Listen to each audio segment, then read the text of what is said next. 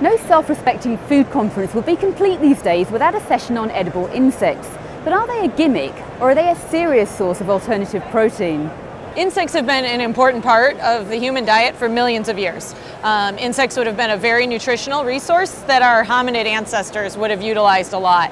And so thinking about it today as an alternative food source is really interesting to me because we think of it here in the United States or in Europe as an alternative protein, but really it's a primary food resource for billions of people around the world today, and it would have been important over the course of our human evolution. Oh, I think they're definitely a serious source. So they're, um, I mean, there's the biodiversity. There are lots of different species that could be utilized, um, but they're, I mean, just just the crickets and the mealworms alone that are already mass produced. They're they're clean. They're uh, they're, they're, raised in farms. Um, we can mass produce. The, everything is manual right now, so it, as soon as that's mechanized, uh, they'll be very, very cheap, um, a, a, very secure source. So they're uh, they're very prolific. The growth rates are very high, so you can produce a lot of protein very quickly and efficiently.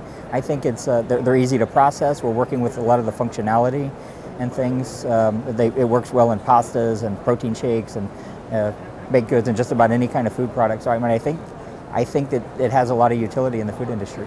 Now, the FDA says insects can be considered as human food, provided they're raised according to certain criteria. But what about allergen issues? The primary issue at the moment is that um, shellfish allergics appear to be also sensitive to insect proteins when ingested.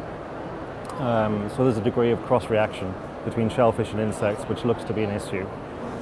At the moment, though, we don't know enough about it really to, um, to give solid advice to producers. Uh, but all we can say is that uh, we would suggest people who make foods containing insect protein should label them um, appropriately as being perhaps not suitable for shellfish allergics. But how tasty are insects and what do they like to work with? They're kind of like a blank canvas on some of them. On the crickets, there's really not a lot of flour um, when they're ground in the cricket meal, the cricket flour, it's um, really more of a neutral ingredient. So whatever you're cooking, it actually absorbs the flavor of it. So it's really like adding nutrients without really changing texture, flavor, or color of the ingredients. So it's a pretty neat component. The, the um, using waxworms and mealworms are a little different. The texture obviously is there. So when you grind them, they're almost similar to grinding uh, pork um, or chicken maybe, or ground turkey. So you can use them into something, we've used them into different meat products like sausages, uh, we've used them and to make like hamburger patties or you know like a slider little sandwich.